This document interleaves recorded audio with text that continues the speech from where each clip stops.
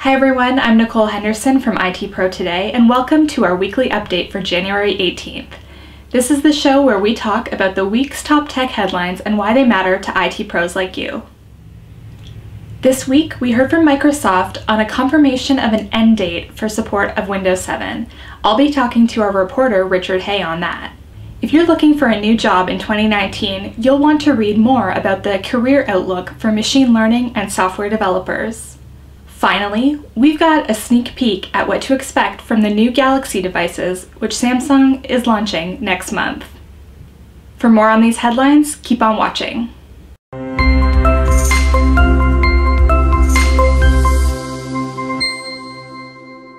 The top story this week, and one that was trending on social media, is the end of support for Windows 7. I talked to Richard Hay, the reporter on the story, who's got more on what enterprises need to know before next year. Hi, Richard. Thanks for joining me today. Hey, how you doing, Nicole?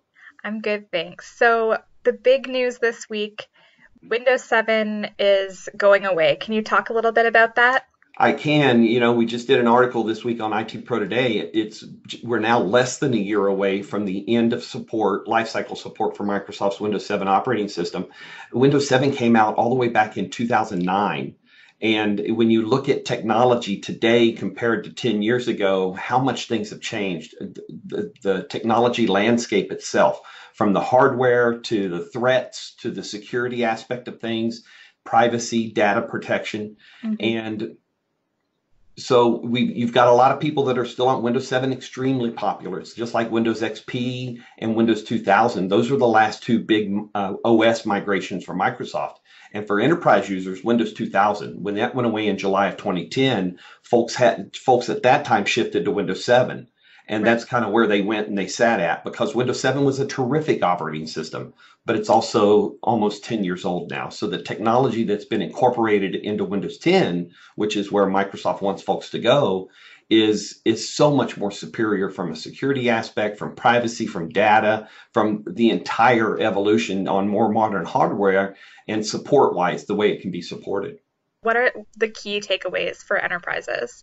Well, most definitely, if you haven't even started thinking about this, you got to start thinking about it. You're less than a year away from end of security updates. And in this day and age, security updates are way too important. There are ways around that. You can fork out a lot of money to Microsoft for what's called extended support updates, security updates, and they will continue to feed you updates for your system at a cost per device.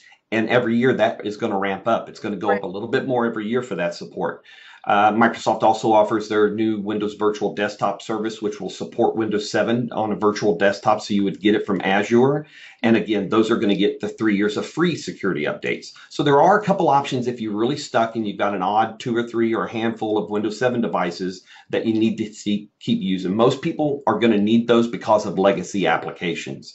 So line of business apps and things like that that you just can't get off. Right. Um, Microsoft is offering a service for uh, for their customers that's called Windows Desktop App Assure. So if you've got an app that you're concerned about compatibility, they will help you figure that out. You just go and you file a ticket with them, and then they will contact you, and you'll have an engineer work with you to get that compatibility. So it's important. I guess if you had three things that people had to be focused on, is one, you got to make sure you know where all your devices are even if they're not connected to the internet, you need to be looking at them, identifying them, and having them ready for a migration. The mm-hmm. second thing is your data, making sure you know where your data is and that your right. data is protected and backed up. And then your apps, making sure your apps are, are that you know what apps you have, what apps you're your users use and that they are brought forward in the migration as well. Windows 10, most everything that worked with Windows 7 should work with Windows 10. Microsoft's numbers right now is pointing to about a third of the apps that are being brought to their attention do have compatibility issues. The other right. 70% or so are working. Okay. Well, I'll link to the article below and definitely check it out. There's a lot of information, there's a lot of great tips there. Um, but thanks for walking us through it today, Rich. Oh, you bet, Nicole. Thanks. If you've got career related goals for 2019, we've got two must reads for you this week. The first looks at the outlook for AI jobs, specifically looking at gender diversity. The outlook is not good, and this has all kinds of implications for the products that use machine learning and AI.